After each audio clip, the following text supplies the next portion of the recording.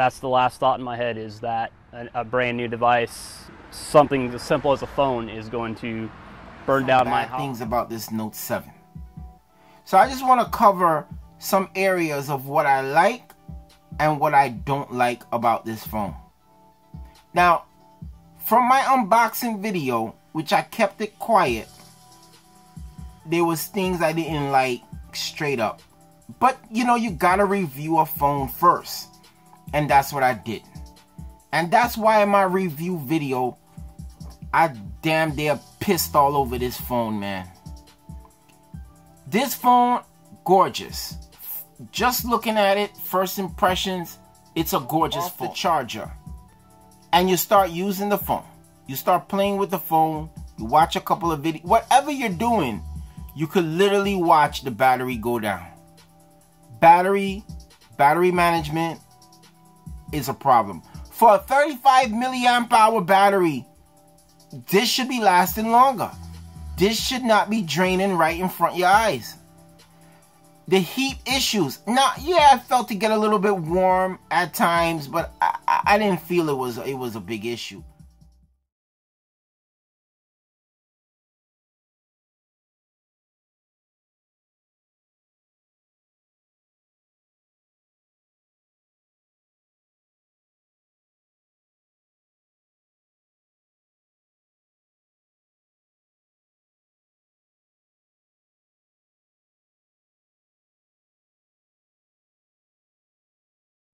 Would I have known the phone would blow up on people? No. Never thought the phone would blow up on people. surprising to me how quick quick the dash caught on fire. Once it got the dash, the airbags went and started exploding. That's the last thought in my head is that a, a brand new device, something as simple as a phone, is going to burn down my house, you know, car, or my house, Still, or hurt a family. It's blowing up on people.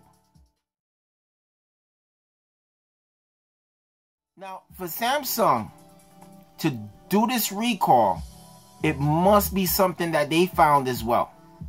Because if you got a couple of phones coming in with that blew up, battery issues, battery blowing up, so it's a battery. There's many things to look at when it comes to this phone. There's many things to look at when it comes to the battery and the charging of the battery. This is one of the slowest fast charging phones to charge ever. I literally can go an hour and a half and come back and still find the phone needing more charge. The phone charges slow for a fast charger.